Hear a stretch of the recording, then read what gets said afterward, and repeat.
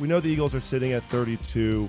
Is there a prospect who, when you watch him on tape, you just think he would fit great, whether it's in Doug Pederson's offense or in Jim Schwartz's defense? I don't know, it, you know, how the Eagles how Howie or Jim Schwartz feels about him. Leighton Vander Esch is a linebacker that I really like. I think the Eagles at some point need to address the linebacker position. Obviously, the way things stand now, they have pick 32 and not another pick till the fourth round, right? So, I mean, you know, I guess right now uh, at 32, if someone like Leighton Vander Esch was there, I'd love to see him in an Eagles uniform.